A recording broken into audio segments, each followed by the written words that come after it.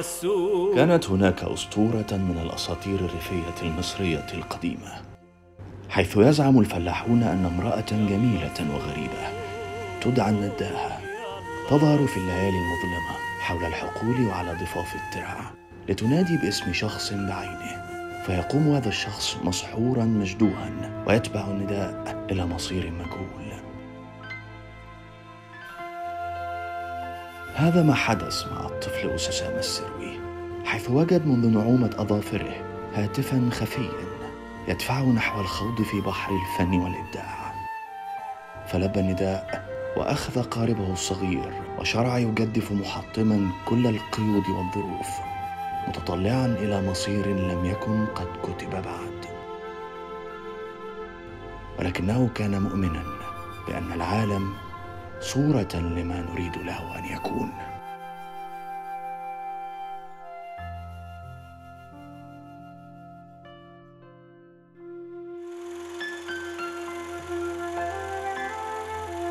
كلما امتلأ القلب بالبساطة استطاع أن يحب بحرية وبلا خوف. وكلما أحب بلا خوف استطاع أن يرى ألوان الحياة في كل جامد وساكن ولد أسامة السروي في عام 1961 بمحافظة الشرقية التي تقع في شمال شرق جمهورية مصر العربية حيث تحتل المحافظة أهمية تاريخية كبيرة فقد كانت تعتبر البوابة الشرقية لمصر ومهبط العديد من الأنبياء والصحابة. في قرية العلوية البسيطة الصغيرة في زمن لم تكن التكنولوجيا قد عرفت طريقا إليها بعد نشأ الطفل الصغير أسامة السروي الذي لم يعلم أنه على موعد مع النجاح وأنه سيصبح أحد رموز هذا الوطن في الفن والإبداع. كأي طفل بينشأ في قرية في ريف شط الترعة بيشغل مساحة كبيرة من حياة الطفل. آه، حياة الخضرة والبراح وجو ال- ال- الغيطان والتوتة وضلة التوتة ساعة الظهرية. آه، والوقت الفراغ الكبير. الوقت الفراغ الكبير في الوقت اللي ما فيهوش أو في الزمن اللي ما فيهوش آه، وسائل زي ما هي متاحة النهاردة لشغل وقت الفراغ. فبالتالي آه، يعني زي ما ورثنا كده عن اللي سبقونا في العمر إن نقضي وقت فراغنا إزاي؟ إن إحنا نصنع لعبتنا بإيدينا. أنا كنت أصنع لعبتي بايديا آه، أشكل من الطين اللعب اللي إحنا ممكن نتخيل إنها ممكن تتحرك. بابور حارت جرار جمل بيجر مش عارف حاجة أو شايل حاجة. قافلة العودة من الحقل مجموعه آه، مواشي آه، بتتحرك. فكان كل ده بالطين بعمله. أنا أفتكرها في سنة 67 لأن أنا فاكر حرب 67 وفاكر آه، أنا كنت عندي ست سنين واتضربت مدرسة بحر البقر لأن أنا فاكر مدرسة بحر البقر لأنها كانت جنب بيتنا. وفاكر لما وقعت طياره آه، إسرائيلية في المنطقة وطلعوا الفلاحين بالفؤوس عاوزين يقتلوا ال- الطيار لكن طبعا الناس دفعت عنه عشان يبقى رهينة ال- الولاد اللي ماتوا كانوا بالك؟ كنا زمايل الطفولة يعني نلعب مع بعض. كانوا هما يقعدوا البحر عشان نروح مدرسة وأنا عندي مدرسة تانية بابا طبعا لما إحنا حس إن إحنا بنكبر وبنخش مدارس و... وبعد كده عنده أمل يعلمنا في الإعدادي والثانوي. وطبعا القريه ما فيهاش غير مدرسة ابتدائيه فقرر إنه ينتقل إلى الزقازيق. في المدرسة بقى بتاعة الابتدائي كان في مدرس أفتكره كويس جدا أستاذ عبد الرحمن. ده كان مدرس علوم. الراجل ده حببني في الرسم رغم إنه مدرس علوم. مدرس العلوم ده كان يرسم الجهاز الهضمي على السبورة لينا عشان يشرح لنا والمريء وبعدين المعدة وبعدين البنكرياس وبعدين نازل على الامعاء الغليظة والدقيقة. يعني انت فاكر لغاية الآن حبيت العلوم وحبيت الدراسة وحبيت العلم وطبعا حبيت الرسم من رسمه الجميل. كان كل ما يخ... أول ما يخش يروح ماسك التباشيره كأنه نازل يدينا حصة رسم مش حصة علوم. فدي كانت من البدايات اللي فعلا وجهت آه، نظري ناحية جمال الخط. فده آه، خلاني حبيت ده حبيت حتة الرسم. حتة إن أمسك تباشيره كنت أقلد. أحيانا لما كان يجي متأخر يقول أسامة يرسم لنا جهاز الهضم وهو شغال يشرح وأنا عمال أرسم. جمال الخط الناعم ده اتعلمته من الأستاذ عبد الرحمن. الدكتور صلاح السروي أستاذ الأدب المقارن بجامعة حلوان حاليا. أفتكر غزالة كان عاملها كان هو في الإعدادي وأنا لسه في ابتدائي. كان عامل غزالة من الصلصال. الغزالة دي فضلت نموذج بالنسبة لي إزاي ممكن أجسد حاجة. في المدارس بقى في الإعدادي آه، آه، حصر التربية الفنية كان ليها كانت عنصر مهم جدا برضه في إن أنا أحب الرسم واهتمام مدرس التربية الفنية باللي أنا بعمله. الأمر اللي خلاني آه، في الإعدادية جبت 20 من 20 في الرسم واتكرمت في في عيد العلم ومحافظ الشرقية وسلم على ال- اللي محققين نهايات المواد وكده. طبعا ده اداني دفعة تانية للثانوي. مدرسين التربية الفنية في الثانوي استقبلوني قالوا ده أول مرة نشوف حد قفل الرسم. كل ما أرسم حاجة يقطعوا الصفحة بتاعته ويعلقوها. بقت أوضة الرسم كأنها معرض أو متحف دائم. لأعمال الطلبة طبعا واعمال اللي كانت بتشغل عدد كبير منها. كان كل الناس اللي اتعلق على الرسم يقول ده خش كلية فنون جميلة بقى. يعني أنا حتى ما كنتش عارف يعني إيه كلية فنون جميلة ولا سمعت عنها. لكن من خلال كلام الناس وتعليقات فقلت الله في حاجة اسمها كلية فنون جميلة في القاهرة. دول بيعلموا فيها الرسم بقى والحاجات تبقى يعني رسام كويس بقى وكده. فطبعا تولد هذا الحلم أثناء السكة يعني في الطريق. برضه شجعني على ده صلاح جدا لأنه كان بيحب الرسم جدا صلاح. وكان بيجيب لي الورق وكان بيجيب لي لازم أقول مجلات سمير ومجلات ميكي من الحاجات اللي حببتني في الرسم جدا. اللي كنت صديق للشخصيات اللي بقرأ عنها. في الحقيقة يعني آه، علامات آه، النبوغ وبوادر الموهبة بز- بدأت مبكرا عند أسامة. من حيث أنه كان بيرسم بشكل يعني فارق جدا وواضح جدا بالنسبة لباقي زمايله. آه، وجودي أنا آه، بتواضع شديد آه، في حياته ربما يكون يعني أثر بشكل أو بآخر لأن أنا أيضا كنت غاوي رسم جدا. عقدت العزم زي ما بيقولوا على إن أنا فنون جميلة سكتي فنون جميلة لازم أخش فنون جميلة. وتصدر لي إحساس أو اتربى جوايا كده إن أنا مش هنفع غير فنون جميلة. وكنت جايب مجموع عالي في الثانوية العامة وكان قدامي كل كليات جامعة الزقازيق ولكن أنا اخترت فنون جميلة. طبعا الحاج بقى يعني الله يرحمه. وقف معايا قدامي في الموضوع ده يعني مش وقف معايا وقف قدامي. أنا ماشي كده واقف لي كده أجي كده يجيني كده. فقال لي ده مستحيل ده مش هيحصل. قلت له لا أنا كبرت أختار مستقبلي أنا أكبر منك وأعرف عنك وبتاع. كلام الحوار ده صراع الأجيال. بس اللي خلاني أنا صممت على رأيي إن حسيت إن هو شايفها من وجهة نظر آه ذاتية جدا. حتى قال لي لو طلعت لو حب لو رحت فنون جميلة لا أنت ابني ولا أنا أعرفك ولا هصرف عليك. و...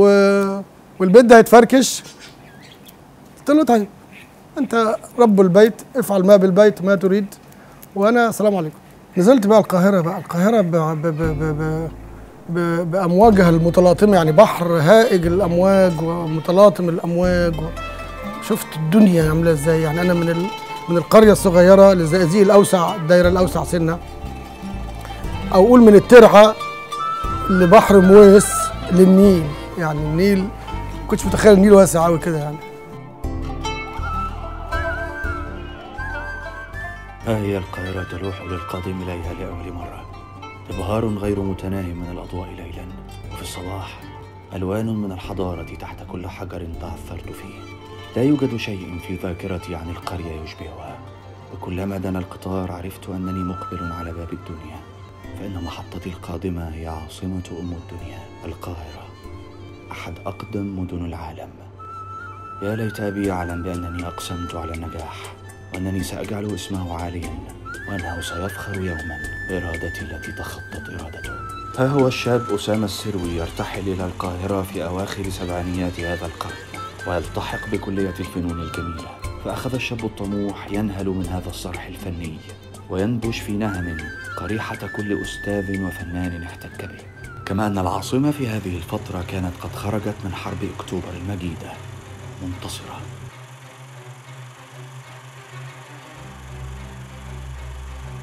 فامتلأ جوها العام بحالة من الزخم والحراك الثقافي السياسي والفني. مما كان له أثرا بالغا على روح وفكر الفنان الشاب أسامة السروي. كيف تحدى أسامة السروي كل الظروف ليلحق بكلية الفنون الجميلة؟ وما تأثير دراسة الفن عليه؟ ما هو الدور المحوري الذي لعبه أساتذته ومعلموه في تشكيل وإثقال تلك الموهبة الشابة؟ كيف تركت القاهرة الساحرة معقل الثقافة والفن بصمة دائمة على وجدان الشاب أسامة السروي؟ مرحلة القاهرة دي بقى بداية التشكل الحقيقي بقى لل لشخصيتي بقى. آه زمايلي في القسم آه اللي بيدرسوا معايا آه المنافسة تشتغل تشجيع الأساتذة التعرف على أسماء فنانين مشاهدة أعمال فنانين كبار كنت أسمع عنهم وأشوفهم في الكتب. يعني قريت في كتاب التربية الفنية عن جمال السجيني وأحمد عثمان ومحمود سعيد ومحمد ناجي. فلما رحت متحف الفن الحديث إن أشوف شغل محمود سعيد بعيني ده يخليك فعلا سعيد. كل دي دفعات لقدام. المدارك بتتسع الخبرة البصرية بتزيد الرغبة في المعرفة أكتر بتزيد آه، الفرص تحقيق هذه الرغبة أكثر أساتذة وموجهين متخصصين كبار آه، موجود. فده بقى بداية تشكل الشخصية بشكل حقيقي. وأفتكر من ضمن الفنانين اللي أثروا فيا من غير ما أشوفهم يعني تلميذ غير مباشر ليهم. محمد قطب جمال قطب آه، عفت حسني ده واحد. كانت رسومهم جميلة جدا. كنت بحب اقلدها وأحب أرسمها وأحب الشخصيات دي لأنها مرسومة حلو. في الفنون الجميلة طبعا هو كان في عدة دوائر. كان في مجموعة من الشغ... من ال... ال- من ال... الأصدقاء ورثتهم عن صلاح. وهم أسماء كبيرة جدا دلوقتي. حمدين صباحي عبد الله السناوي جمال فهمي. محمد حماد آه، مجدي بدر أمين اسكندر آه، آه، ممدوح كامل. آه، مجموعة كبيرة جدا الحقيقة. دول كانوا أصدقاء صلاح. دول شكلوا لي جانب فكري. الحقيقة إن أصدقائه كانوا أصدقائي وأصدقائي كانوا اصدقائه اصدقائه يعني هو كان بيجي عندي كلية دار العلوم وأنا بروح عند كلية ال- الفنون الجميلة. محيط أصدقائه عهدي شاكر محمود جمعة أحمد إسماعيل يعني هذه المجموعة كلها محمد عزت إلى آخره.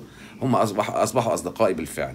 ونبيل السنباطي أيضا لابد ان اذكره يعني كان مرحلة ثراء فكري. في كان كانوا بينظموا دورات آه، لل- للتثقيف. تشوف الشيخ إمام عمري ما يعني سمعت عنه. عمري ما شو عمري ما تخيلت أنا ممكن أشوفه وأقعد معاه وأسمعه في أعداد خاصة كمان. خد بالك. آه، أحمد فؤاد نجم. كل دي دوائر الحقيقة يعني كانت بتصب في النهاية في آه، عملية الصقل. صقل الشخص. يعني اللي على المستوى الفكري واللي على المستوى الفني واللي على المستوى الثقافي. واللي على المستوى الإبداعي. كان دفعتي آه، استلمها الدكتور فاروق إبراهيم. دكتور فاروق إبراهيم أستاذ النحت الميداني العظيم. تمثال عبد المنعم رياض تمثال آه، آه، حافظ إبراهيم في حديقة الحرية تمثال عمر مكرم رأس عباس محمود العقاد. فاروق إبراهيم أعماله طبعا يعني تحدث عنه من الناس اللي أثرت فيا خالص والناس اللي, علمتني أشوف. أو على إيديه شفنا إزاي التمثال الصغير الماكيت أو ال esquisse كنا بنسميه إزاي يبقى كبير. بالك؟ ده قدام عينينا كان بيعمله كنا بنساعده. ده فاروق إبراهيم. آه، فاروق إبراهيم آه، تكنيك ودماغ شغل. أحمد عبد العزيز آه، تفكير فكر. جمال عبد الحليم آه، فلسفة فن. آه، العلاوي فكر سياسي اجتماعي في الفن. دايما رأيي إن الفنان ليس مجرد صانع ماهر وإنما هو مفكر وهذا ما ينطبق على الدكتور أسامة السري. وده اللي خلاه فعلا كفء إن هو يعمل عمل كبير زي الموسوعة السوفيتية الكبرى ويعمل موسوعة عن الفن المصري في أجزاء متعددة.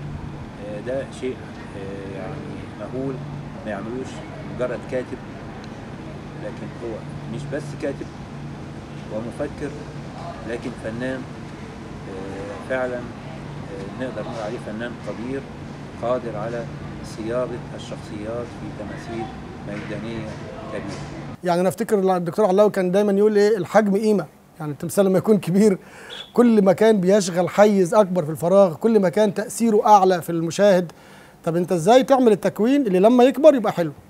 مش كل تكوين يكبر يبقى حلو مش كل ماكيت صغير ممكن يتكبر. فنون جميلة بقى واساتذتي يعني الحقيقة اللي اتعلمنا منهم كتير يعني. دكتور أحمد عبد العزيز وأفكاره ومناقشاته وإنه آه، يفكر بصوت عالي مع مع الطلبة بتوعه على أساس إنه آه، كأنه هو يعني بي- بي- بيفجر جوه نفسه الأفكار وبيست وبي- وبيستفيد بوجود الطالب جنبه. في سبيل إنه يطلع اللي جواه. فده بالتالي كأنه بي- بيطور شغله آه، وفي نفس الوقت بيأدي رسالته كأستاذ بيعلم الطالب بشكل مباشر. لأن الفن ما ينفعش يتقال نظريا كده. هو بيشتغل قدامك وبيطلع أفكار قدامك وأنت بشكل طبيعي بت- بتمتص ذلك يعني. لما بيخش علينا الاتيليه آه، أنا وزملائي وإحنا بنشتغل وكانت آه، يعني يعني أساليبنا متميزة جدا ومختلفة عن بعضها هو قدر يتحصل على خبرات معينة من كل أستاذ و... وأنا يعني يمكن ب... ب... بقول ده وأنا معتز جدا ومفتخر إن هو كثيرا ما كان بيقف معايا ويناقشني. من الأساتذة اللي كانوا حلوين قوي الدكتور أحمد جاد. الدكتور أحمد جاد كان صديقنا لأن هو كان مدرس مساعد وإحنا شباب صغير. فكنا نطلع رحلة مع بعض اسكندرية. وطول السكة كلام فن. شوية غنى في القطر. وعلى الكورنيش على البحر في اسكندرية أنا فاكر. آه، نقعد حواليه نلاقيه يقعد يتكلم في الفن. طب يا دكتور إحنا في رحلة. يعني حتى الطلبة كانوا يعلقوا يا عم إحنا في رحلة. لكن الحقيقة يعني كان المتعة الحقيقية إنك تقعد تسمع الناس دي. والدك بقى وهو في إعدادي كان ليه فلسفة خاصة. يجادلني كان كده يجادلني كتير. آه. عشان أنكش. عايز أنكش أنا فاكر أيوه أنا فاكر أنا الاجواء دي. كان كنت بحب أنكش أنكش حضرتك يعني عشان نستفيد أكتر. لا أنا كنت بحس إنك أنت مثقف كويس يعني تقدر تجاري أي حوار كنت أنا اللي بنكش مش أنت اللي كنت لا أنا كنت بحاول أستفيد بس يعني أنا كنت ببحث في المرحلة دي عن عن المعرفة من أي حد يعرف أي حاجة لازم أخدها منه. أيوه. فطبعا يعني متشكر لحضرتك طبعا أنت أفدتونا وعلمتونا و... الحقيقة يعني أنا ممنون وممتن آه، لهم. وهم اساتذه كبار حفروا أسمهم في التاريخ في تاريخ الفن أعمالهم موجودة في متاحف موجودة في ميادين وموجودة في ذاكرتنا الحقيقة دايما يعني. آه، محمد عزة طبعا صديقي وكان زميلي في الكلية دخلت بيته وعشت مع أسرته. حصلت طبعا قصة الحب العظيمة في حياتي. تعرفت على عليا. آه نشأت قصة حب جميلة جدا استمرت. أثمرت نجحت. آه اخترتها تكون شريكة عمر شريكة حياة شريكة آه طريق كفاح طويل استمر وما زال. فدي يعني حاجة من ال من ال من ال من اللي الأقدار آه، أهدتني إياها. يعني حاجة عظيمة جدا الأق- الأقدار كنت محظوظ. إن الأقدار أهدتني آه، هذه الفرصة. إني أعمل آه، حياتي الخاصة بشكل بشكل ناجح. ماما كانت تحبه قوي وبابا كانوا بيثقوا فيه جدا. وبيعتبروه آه، يعني نموذج مثالي للشاب المكافح يعني. وحتى بغض النظر عن كل الظروف ال- ال- المادية اللي كان ممكن تعوق أي ارتباط هم قبلوا ب يعني الجوازة بشكل آه، ما فيهوش كلام ما فيهوش نقاش يعني. يمكن عشان النصيب ربنا مقدر لنا إن إحنا نبقى مع بعض. خدمت في البحرية وأنا على المراكب كنت أقرأ الروايات والأدب الروسي اللي بعد كده شفت ال- ال- العمالقة بتوعه ومتاحفهم. أه وأتأثر بهذه الروا- الروايات وأكتب أه أه جوابات من المركب في قلب البحر للمحبوبة. فعملنا حتى ال- المراسلات يعني مارست أدب المراسلات من خلال ده. لقيت نفسي متوزع ميكانيكي لانش في البحر في قلب البحر أنا والبحر. 30 يوم في المية ست أيام على البر كأجازة. 30 يوم في المية 30 يوم تأمل متواصل. آه، آه، شروق الغروب فصول السنة المختلفة المطر لما بينزل قوس قزح. آه، البحر وعرضه المسافات ال- اللامتناهية. الأفق اللي باستمرار قدامي القراءة بقى. نشغل وقتنا بإيه؟ يعني زمايلي على اللانش كانوا بيصطادوا. كل واحد ماسك سناره أو حداف وبيصطاد. بيقضي وقته بالصي- بالصيد. أنا أقضي وقتي بالقراءة. أجازتي كان عبارة عن إن أنا أشيل كتب قريتها أرجعها للمكتبة مكتبة صلاح السروي أرجع بكتب جديدة روايات جديدة. أفتكر من الروايات اللي أنا قريتها بشكل كامل وأثرت فيا أربع أجزاء. الدون الهادئ شولوخوف. ميخائيل شولوخوف آه شغل جوركي شغل أنطون تشيخوف لترجمه أبو بكر يوسف. آه الأدب الروسي أدب الحرب عموما قصص قصيرة آه آه حاجات لتولستوي الحاجات دي قريتها في الجيش مرحلة الجيش.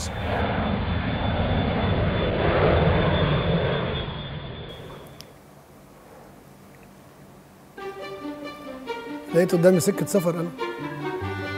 سكة سفر لروسيا.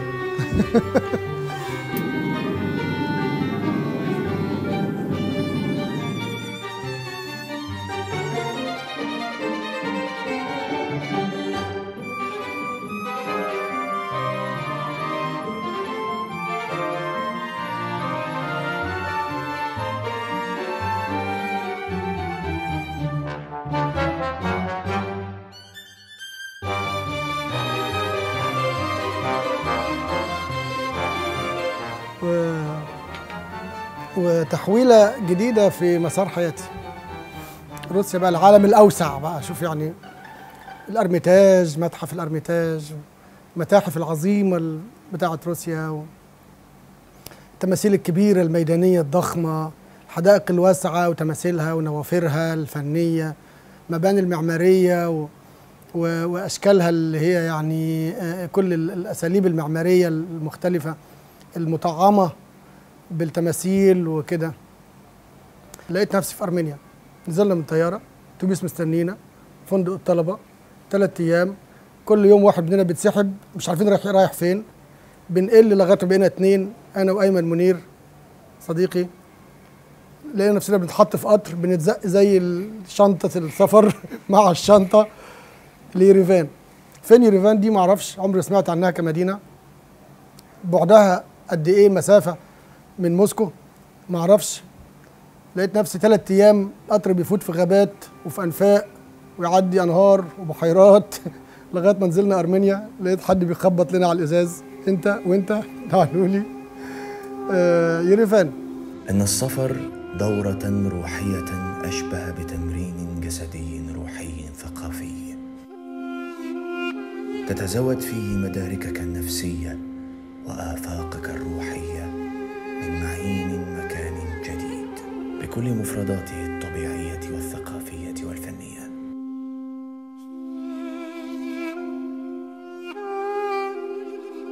ولكن مع ذلك يظل الحنين بداخلك حنين الروح والجسد إلى بذرته وطينته وتكوينه. ثابتا لا يتغير. أول تمثال أشوفه هناك وأفتكره كويس جدا آه، داوود ساسونسكي أعمال فنان عظيم جدا عرفته بعد كده اسمه يريفان كوتشر من أعظم فناني أرمينيا. بطل قومي ماسك السيف بتاعه وبيلتفت لوراه وراكب على حصان بيشب. شفته بانبهار. أرمينيا مرحلة أرمينيا بالنسبة لي يريفان سنة كاملة بتفرج على تماثيل. أرمينيا أو يريفان هتكلم عن يريفان كمدينة. آه، مدينة جبلية طبيعة جبلية مفيش خط أفق. دايما خط الأفق مقطوع بحاجة بتكوين معين. التماثيل جزء أساسي فيها. الأرمن مشهورين جدا بال- بال- بالنحت وفيهم فنانين كبار. شفت بقى بجدة سريان أروتيونيان يريفان كوتشر. مجموعة من الفنانين الكبار اللي عرفت أساميهم بعد كده كل ما أشوف تمثال ألف حواليه كأني بعمل طواف عشان أدور على اسم الفنان. واشوف آه، آه، آه، تاريخه بعد ما أروح بحيث أتعرف فرصة بقى. أنا عارف إن أنا قاعد هنا سنة ففرصة إن أنا أتفرج على الفن الأرميني والنحت الأرميني. وهم كانوا بينتموا للمدرسة السوفيتية. هنيجي بعد كده بقى المدرسة السوفيتية والكلام عن الفن السوفيتي. بيشغلوا مكانة كبيرة جدا في المدرسة السوفيتية. دي أرمينيا. اتعرفت على فنان في أرمينيا نحات جميل قوي كان. خدني الأتيليه بتاعه اداني فرصة كبيرة أشتغل نحت آه، آه، فلاديمير تاتوسيان نحات في يريفان أفتكر عنوانه آه، улица Комитаса тридцать шесть. يعني شارع كوميتاس هم عندهم فنان كبير композитор يعني موسيقار ضخم عندهم اسمه كوميتاس ففي شارع متسمى على اسم هذا الموسيقار. خدني الاتيليه بتاعه اداني كل ال material فرحان بيا يعني. واحد جاي من بره وفنان وشاب صغير وكده فطبعا حب يوجب معايا. اداني حجر اللي هو الحجر ال- ال- المشهور عندهم اسمه التوف. زي عندنا كده في مصر حجر الجيري. بنبني منه وبنعمل منه أرصفة وبننحت منه تماثيل وبنكسره في الجبل لل- للمذنبين. بيروحوا يشتغلوا هناك. هناك حجر التوف. اشتغلت توف. هو حجر دافي كده محمر جميل وطري. عملت منه شغل عنده وعرضته. آه، مارست آه، التصوير الزيتي. مدير الكلية أو عميد الكلية. كان آه، فنان. كان بيمارس الفن هو يعني هواية. فشافني برسم وعملت معرض في الكلية الأول. قال لي لا ده أنت تيجي معايا بقى. كان ياخدني بعربيته ونرسم جبل أرارات آه، على بعد 15 كيلو من الجبل اللي هو الحدود الأرمينية التركية. آه، وعملت معرض تاني بعد ما رسمت مع ال- الشخص ده الفنان الجميل ده في الجامعة. يريفان عاصمة أرمينيا. تقع على ضفاف نهر هرزان أكبر أنهار أرمينيا. شمال يريفان يقبع جبل أرارات البركاني مغطى بالثلوج.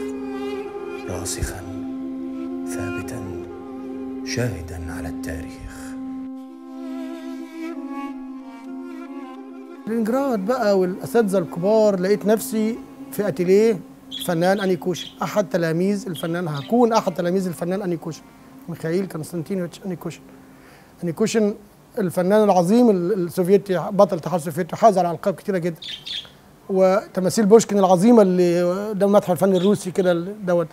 ومدافعي المدينة مدافعي لينجراد له أعمال كتيرة جدا وكبيرة جدا وضخمة جدا. انيكوشن كنتش أعرف اسمه.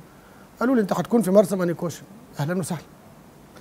ف اتعلمت منه كتير. ال- الأجمل ما في هذا هذه المرحلة إن أنا آه، اتفاجئت بإن أنا مصري. يعني اكتشفت مصريتي اكتشفت إن أنا بنتمي لحضارة عظيمة جدا. الناس دي بتقدرها وبت- وبتنظر لنا بتقدير مرتبط بتقديرهم لهذه الحضارة. أول حاجة لقيت التمثالين أبو الهول Sphinx قدام باب الأكاديمية. دي حاجة أبو Sphinx أبو الهول. آه، آه، آه، منمحات الثالث اثنين كبار تمثالين كبار محطوطين مكتوب عليهم من تحت. إهداء من حاكم مصر إلى قيصر روسيا. ده حسيت إن في اعتراف كبير جدا بالفن المصري.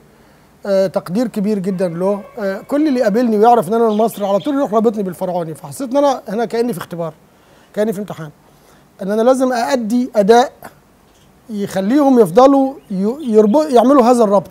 يعني أنا أنتمي إلى حضارة عايز أكون جدير بهذا الانتماء. وده برضو حتى فينا إحنا المصريين لما نخرج بره ليه بنتميز؟ ليه بنتفوق؟ لأن إحنا بنلاقي نفسنا قدام ده. يا تتميز يا إما يعني تتنازل وما تقولش إنك مصري. انيكوشن رغم إن شغله لا يمت للفن المصري بصلة بس كان بيشجعني إن أنا أبص لتقاليد الفن المصري. والكلام اللي كنا بنسمعه من جمال عبد الحليم بالتحديد جمال عبد الحليم الأستاذ الفنان جمال عبد الحليم دكتور جمال عبد الحليم فن- فنون جميلة. تقاليد الفن المصري الأصيل تماسك الكتلة رسوخ الكتلة الفراغات القليلة خالص في الكتلة لأن ده مرتبط بفلس- بفلسفة الخلود عند الفراعنة. لقيت انيكوشن بيصحي فيا ده يقول لي ما تنساش إن أنت مصري إحنا جدنا إغريقي أنت جدك فرعوني. ده style فن وده style تاني دي فلسفة فن ودي فلسفة تانية.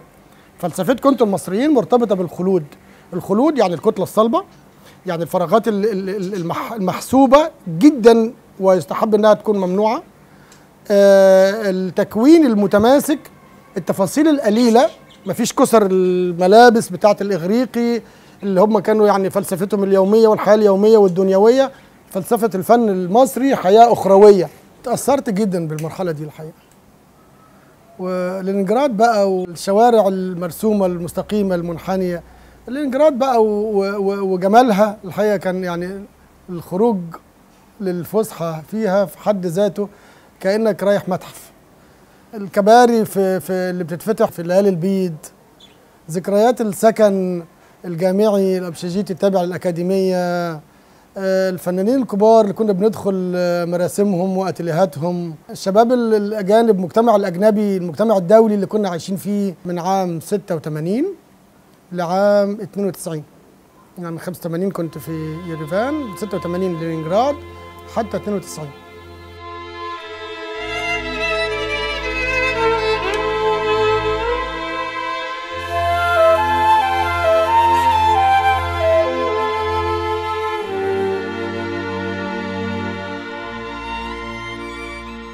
في قدام الابشجيتي اللي عشت فيه 8 سنين ابشجيتي أكاديمية الفنون. دي اللي فوق الباب على طول دي سكننا فيها. ودي عربيتي بقى اللي كنت ما عمري أتخيل إن أنا أخرج من باب الابشجيتي وأنا بدرس فيه ألاقي عربيتي واقفة مستنياني.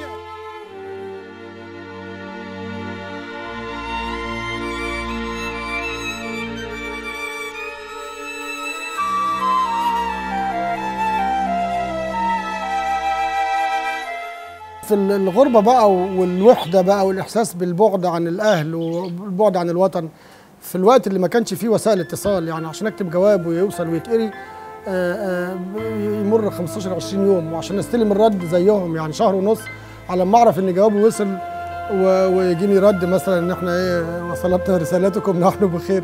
المسج ده اللي أنت النهارده بتكتبه في أقل من آه، جزء من الثانية كان بياخد معايا 40 يوم عشان يوصل وعشان يجيني الرد. آه، الإحساس بالغربة كان أوحش. يعني إحساس بالوحشة كان أكبر. آه، نتغلب على ده إزاي؟ إحساسك بالبرد. أنت جاي من بلد حار شمس. آه، طول السنة حطيت قدام عيني أفق معين. عملت لنفسي زي خارطه طريق خط سير.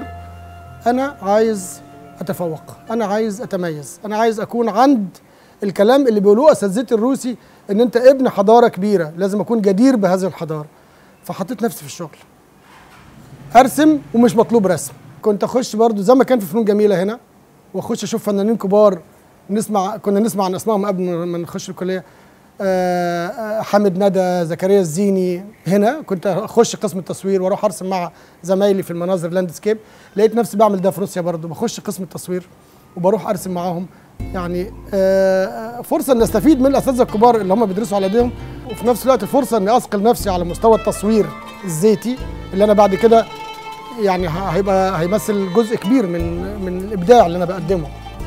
بغير من من من معالجاتهم اللونية دخلت عالم اللون آه، ده كان في آه، في روسيا بشكل كبير دخلت فيه. في التصوير نلاقيه فنان كأنه معجون بالألوان اللي هو بيشتغلها بالملامس الكثيفة جدا زي أي فنان تأثيري. الهدف بقى كان من كل ده إن أنا أحول هذه المعاناة والإحساس بالغربة والوحدة والحنين وكل ده إلى طاقة إيجابية تدفعني للتميز علشان أكون عند المستوى اللي اساتذتي الروس عاوزيني أكون عنده. إن أنا ابن حضارة عظيمة. لازم أكون قد هذه الكلمة. إحنا كنا بنتربى مش بس بين جدران الأكاديمية وبين وعلى إيد الأساتذة على إيد كمان أعمال الفنانين الكبار. يعني أنا في روسيا في في متحف الأرميتاج كان لأول مرة عينيا تصافح أعمال الفنانين ال- ال- الأوروبيين الكبار اللي إحنا قرينا عنهم في تاريخ الفن أو درسناهم في تاريخ الفن. فان جوخ جوجان اوجست رودان ماتيس إدوارد مانيه أندري ديران بيكاسو. الأسامي المشهورة دي أعمالهم كلهم موجودة في الأرميتاج. زي ما هي أعمالهم موجودة في متاحف أخرى في إسبانيا وفي فرنسا في جزء كبير من أعمالهم من مقتنيات الأرميتاج. كنت أخش أشوف الأعمال دي وأقول الله إيه ده؟ ده جوجان لمسه اللون خربشة الفرشة وهي بتمشي عكس اتجاه الشعر بتاعها على التوال محسوس في اللوحة اللايف مش محسوس في اللوحة المطبوعة في كتاب أنا شفتها في كتاب شفتها في ألبومات الفن اللي كان بيجيبها لنا جمال عبد الحليم وعادل شعبان و... واحمد جاد الاساتذه الكبار مع حفظ الألقاب طبعا اساتذتنا كلهم على راسنا. طبعا لما خلصت أنا في روسيا ورجعت وتعينت رجلي ما اتقطعتش عن روسيا الحقيقة لأن أنا ربطت نفسي بالبلد دي وربطت نفسي بثقافتها.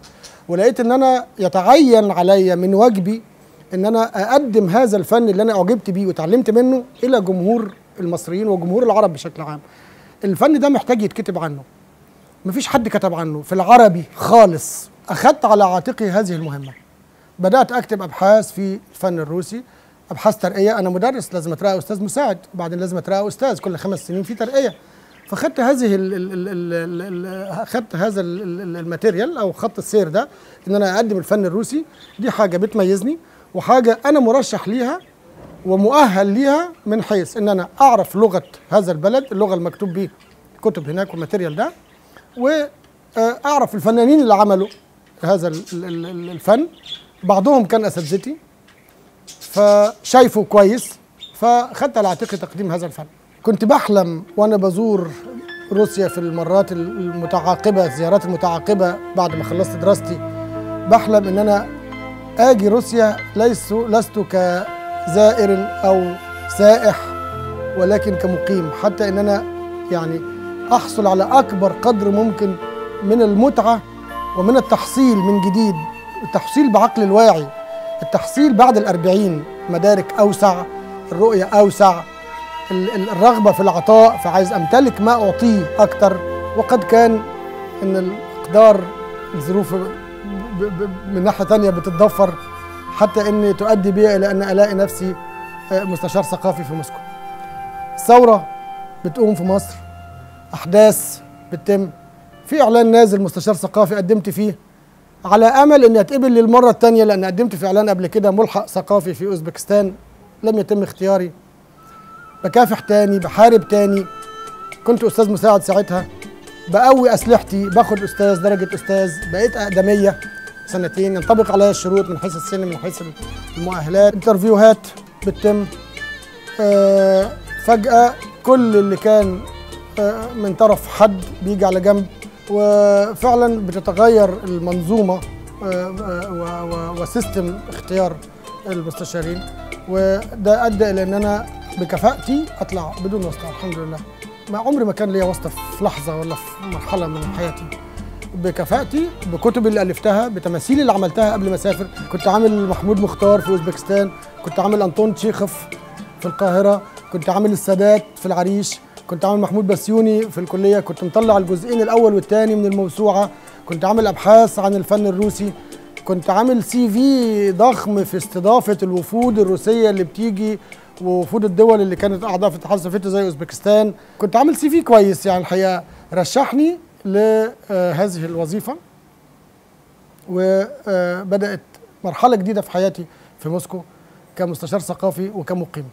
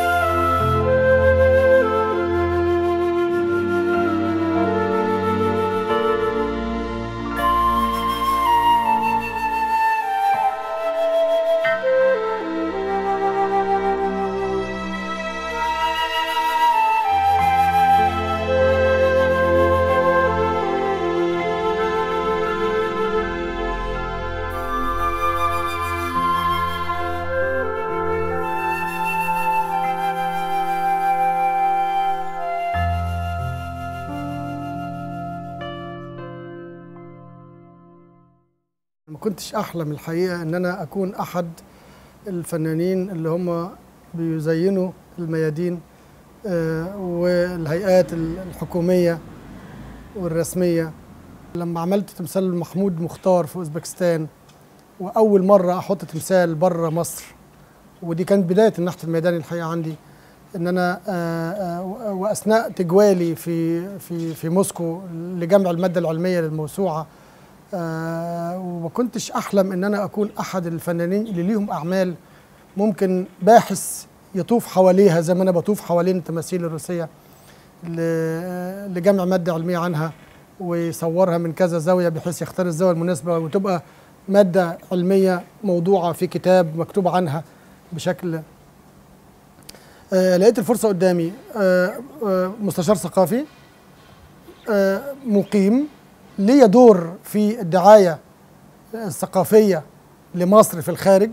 لقيت الفرصة إن أنا يعني أستثمر إمكانياتي كنحات وإن أنا أقدم أعلام الثقافة المصرية آه للروس. آه ان إحنا عندنا أدباء ومفكرين وموسيقيين وفنانين كبار. آه لا يقلوا عن الفنانين الروس اللي هي أقيمت لهم تماثيل في روسيا ذاتها. عندنا طه حسين عندنا العقاد ما هو ده ما يقلش برضو عن شولوخوف وعن تولستوي والناس دي. يعني ليه ما لهمش تماثيل يعني؟ ليه موجود تماثيل لأجانب في روسيا وما فيش تماثيل لمصريين؟ ما دي كان كلها تساؤلات وأنا بجمع المادة العلمية لل- للموسوعة ألاقي تماثيل لطاغور الشاعر الهندي الكبير غاندي أدباء عالميين فيكتور هوجو الناس دي. طب الفنانين الأدباء المصريين فينهم هم؟ يعني هم ليه مجهولين في روسيا؟ ليه الجمهور الروسي مش متعرف عليهم؟ وأنا كنت مؤمن بحاجة إن النحت في الميادين بيخلد اسم ال- ال- الشخصية اللي أقيمت لها التمثال على مدى أجيال وبيكون سبب لتعرف أجيال كتير هتيجي بهذه الشخصية.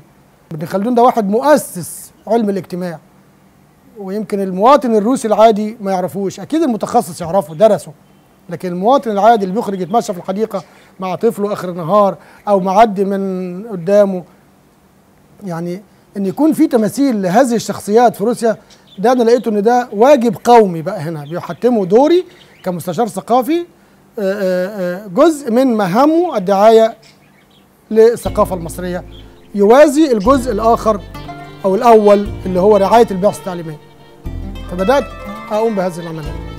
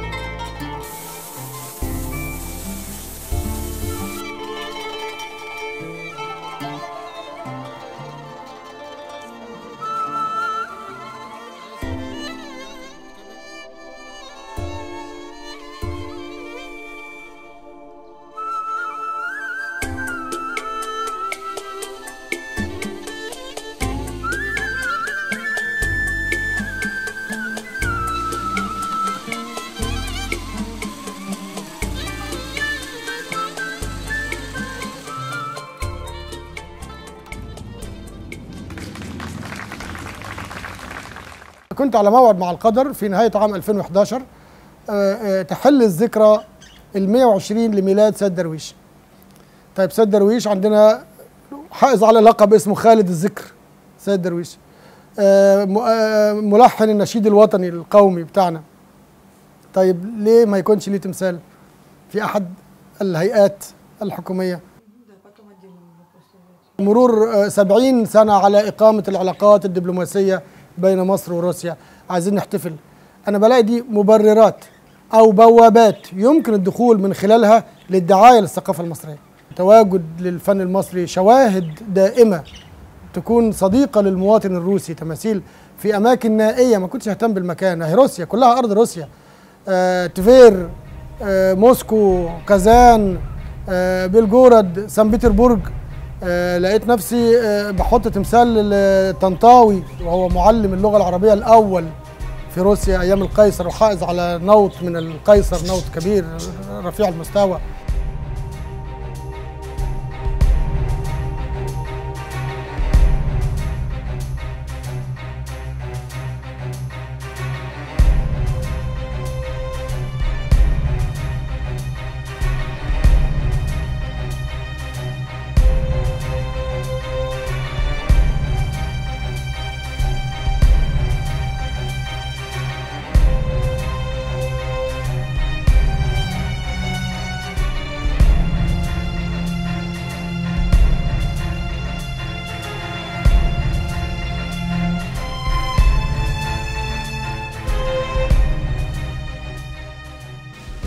بواجه عقبة إن إن المكتب الثقافي ما فيهوش ميزانية تغطي هذه التماثيل وليس من حقي إن أنا أصرف من ميزانية المبعوثين أو من ميزانية ال- المصروفات الإدارية أو من أي آه، من الأرصدة اللي هي للمكتب على هذه التماثيل.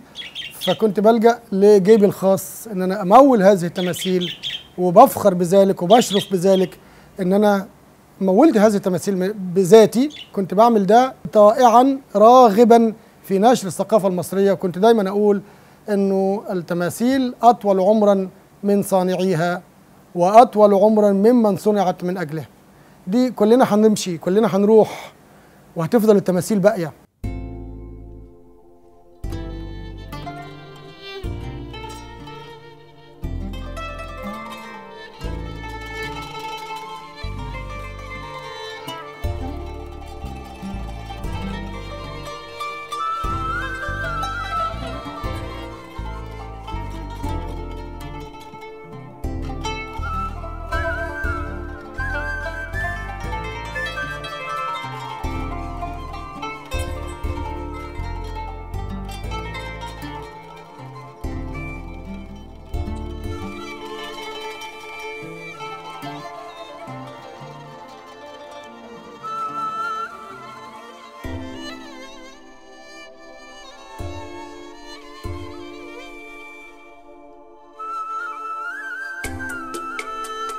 أيضا سيقام تمثال لطه حسين الأديب طه حسين بالمناسبة يمر 40 عاما على وفاته في عام 2013 فاحتفالا بكلتا المناسبتين مرور 40 عام على وفاته و70 عام على العلاقات سيقام تمثال لطه حسين في مدينة تيفير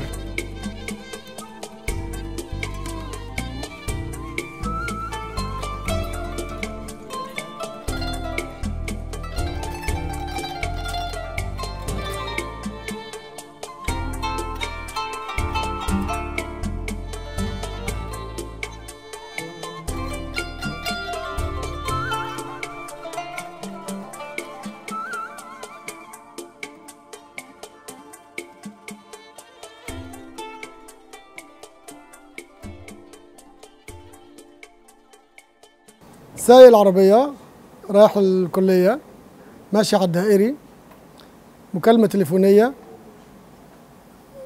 آه وزارة الخارجية الروسية معك. ألو دكتور أسامة السري أيوة يا فندم أنا معك وزارة الخارجية الروسية. فكرت حد من أصدقائي بيهرج فقلت له فعلا وزارة الخارجية؟ طب أنت مين بقى؟ قال لي إحنا فعلا وزارة الخارجية الروسية. حضرتك فلان؟ أيوة أنا. قال طيب أنت مرشح للحصول على ميدالية من الرئيس بوتين. فعلا؟ قال لي فعلا قلت له طب لحظة بقى عشان أعرف أسمعك. فرامل خدت جنب اتفضل أنا معاك. خير قال لي آه أنت أحد ثمانيه مرشحين للتكريم في يوم 4 نوفمبر كان 2016 وده ذكرى توحيد روسيا. آه عيد قومي كبير في روسيا.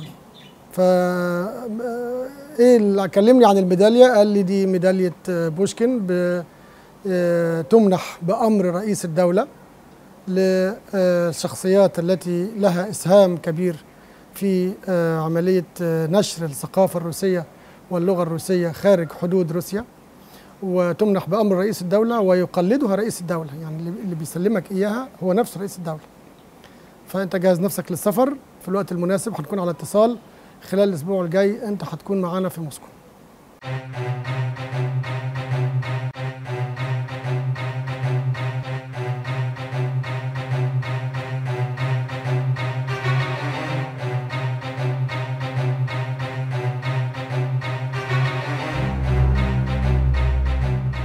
استعد لل- للقاء الرئيس بوتين فلاديمير فلاديميروفيتش для меня это очень большая честь и буду гордиться целой жизнью этим процветанием и прогресс.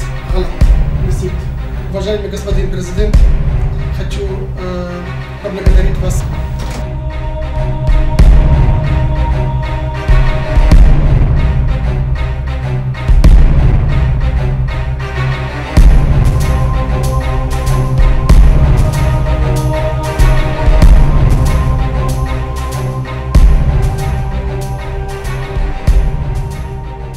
Усама Ассируи.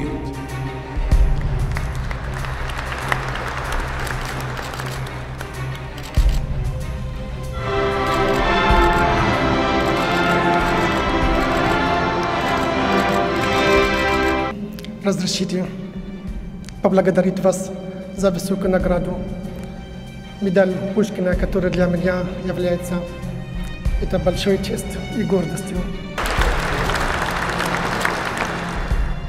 Конечно, благодаря нашим друзьям, которые продвигают русский язык, русскую культуру во все страны мира, опираясь на как раз те его достоинства, о которых сейчас много было сказано награжденными. Большое вам спасибо за эту отличническую работу. Благодарю вас.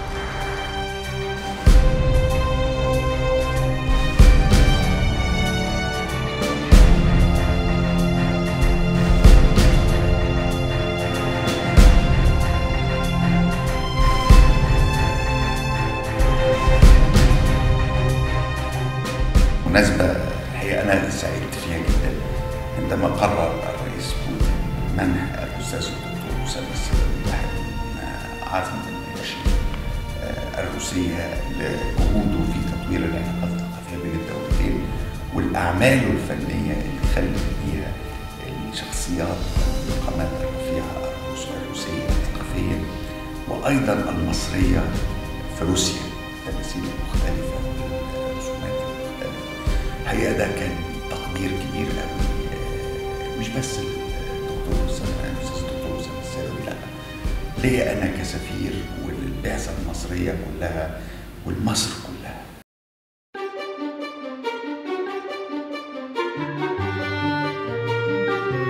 النهارده الحد 18 آه، فبراير. آه، درجة الحرارة ناقص 10 الطريق بينزل خفيف جربنا نغطس في هذا إحنا غطسنا توكلنا على الله حتى ننتصر على الطبيعة ونؤكد لنفسنا إن إحنا بننتصر على نفسنا بق قال يا ولد Ha ha ha ha!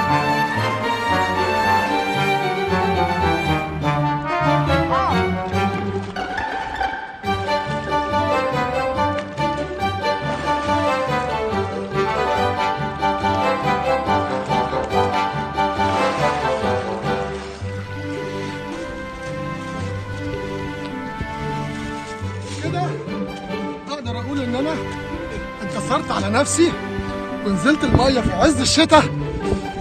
وبس صباح الفل.